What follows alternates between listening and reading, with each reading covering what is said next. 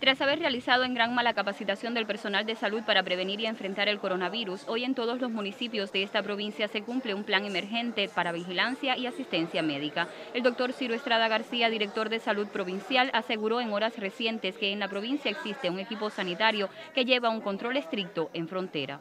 Sobre todo a nivel del Aeropuerto Internacional Sierra Maestra, que es por donde recibimos un flujo importante de turistas, sobre todo de Canadá, pero además de eso existe un control estricto de los viajeros internacionales que entran a nuestra provincia, dígase en casas de renta, eh, visitas de familiares y demás.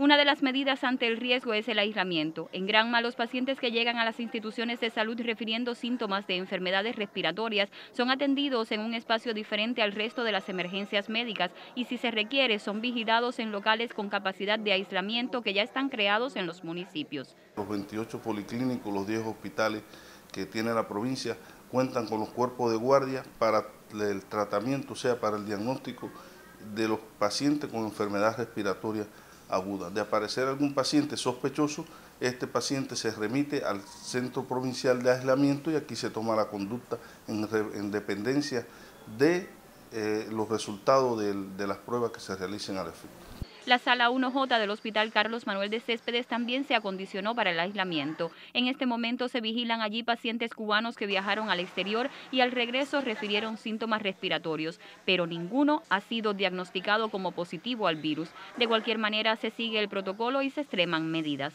Si algún familiar desea traerle algo, debe ser algún alimento desechable que una vez que entre a la sala no retorne, o sea, ya eso se, se empaqueta en bolsas y eso se desecha. Este es el flujo que está establecido para ello. El personal médico tiene un flujo establecido de la parte detrás de la sala, o sea, para evitar eh, cualquier tipo de, de contaminación.